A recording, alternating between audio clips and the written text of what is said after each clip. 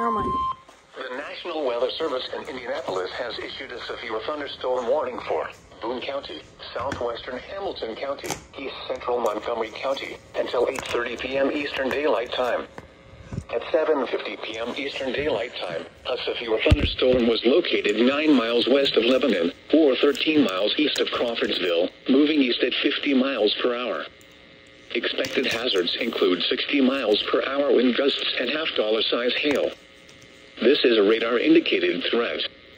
The following impacts are expected. Hail damage to vehicles is expected. Expect wind damage to roofs, siding, and trees. It's getting pretty bad out there. Locations impacted include Lebanon, It's getting pretty bad out there. Sheridan, Advance, New Ross, Look. and Newland. One, two, three, four, five, six, seven, Interstate eight. 65 between mile markers 129 and Actually, 145. seven alerts. Interstate 74 Jesus. between mile markers 44 and 52. For your protection, move to an interior room on the lowest floor of a building.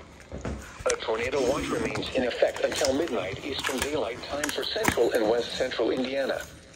Repeating, a severe thunderstorm warning has been issued until 8.30 p.m. Eastern Daylight Time for the following counties in Indiana, Boone, Hamilton, and Montgomery.